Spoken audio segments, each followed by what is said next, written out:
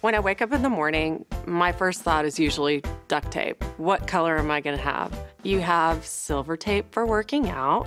You wanna go hunting? I've got camo duct tape.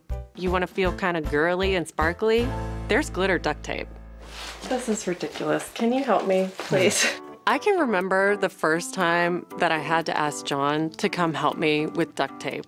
I thought his jaw was gonna hit the floor. He was like, What are you doing?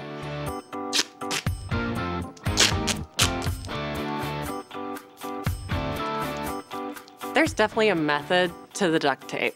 It took me a little while to figure it out, but you have to have a cross boob situation. And yes, that means going over the naps. Bring one color. Yeah. All good.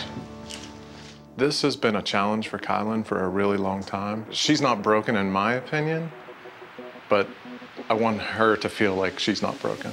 It is time to change this. It's time to change it for me, for my husband. It's time to change it for my boys. My breasts, they've trapped me in a prison that I feel like I can't get out of. And duct tape rules my life.